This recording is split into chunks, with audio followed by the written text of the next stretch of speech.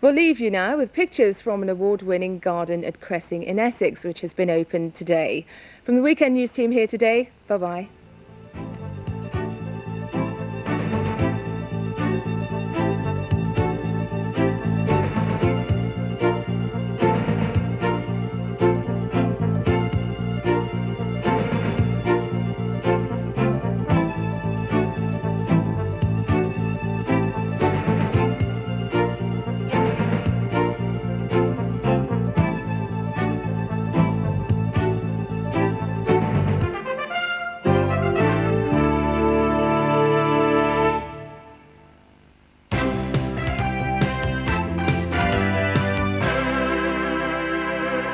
Good evening, welcome to Weather Week. Those warm days of May seem a very long while ago now. We've barely seen temperatures reaching 15 Celsius for much of the last week, let alone into the middle 20s. Just to remind ourselves how good the middle of June should be, I brought along some temperatures for Norwich, and the average maximum temperature should have climbed from 17 Celsius on the 1st of the month up to about 20 degrees Celsius by the 25th and the minimum night value is about 9 degrees rising to 12. Well, obviously, we've not really achieved that at all. We've seen some very cool weather, especially recently, when on the 9th of June, the daytime maximum temperature of only 10 degrees Celsius was an equal record lowest for Norwich Weather Centre. Now, at present, the maximum temperature is about 4 degrees below average and the minimum 3 degrees. The minimum, I suspect, not all that low because we've kept a lot of cloud, and that's probably the reason the maximums are very low as well. If we break the cloud, we could see values, hopefully, by the end of this week, just going above the line and maybe, with a bit of luck, reaching 20 Celsius. Well, since cloud is important, no better place to look for that than on the satellite pictures, which during today have shown a lot of this nuisance value low cloud around. It's given patchy light rain and drizzle, no great quantities recently, and I think it's going to be a while before we completely lose the cloud.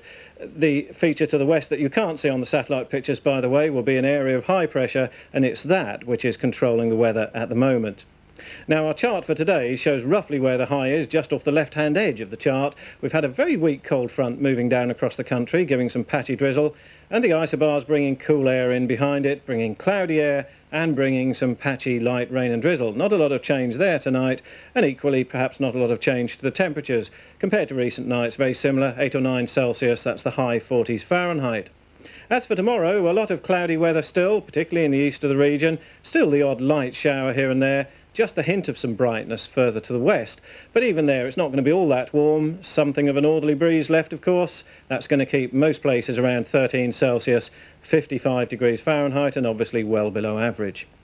This week's weather certainly will be dominated by the high to begin with, and I think on Monday it's changed very little at all, really, and that's left us close to the low, so the threat of further showery rain or drizzle, and I think a cool feel to the breeze as well. The isobars a little bit close together for a time at first this week. Sea temperatures, by the way, are about 12 Celsius, so feeling rather cool around the coast. The best chance of higher temperatures well inland, where you have the most shelter, but no real change to the chart for quite some time. It's only as we get towards the second half of the week that the high begins to try and move in towards us, and by about Friday, just a hint of a weak ridge, which could well bring the winds back to the west or the northwest and bring a recovery of temperatures as well. So looking at the whole week overall, you're going to have to wait till the second part of the week for any real sign of improvement. We're going to have showers or spells of drizzly rain for the first two or three days at least, and then becoming somewhat brighter, firstly in the west of the region, and I think all places improving by about Friday. That'll be when we lose the coolness to the breeze, which will be fairly strong at times near the east coast during the first two or three days. The wind then backing to the northwest. No real problems, I think, for any of us this week. Perhaps some early morning mist around on Friday morning and again into the weekend. Now you heard what the temperature should be, way below average then for most of this week, slowly getting above the line by about Thursday with a prospect, hopefully, a warm day on Friday. Pleasurewood Hills Theme Park, home of the Cannonball Express roller coaster.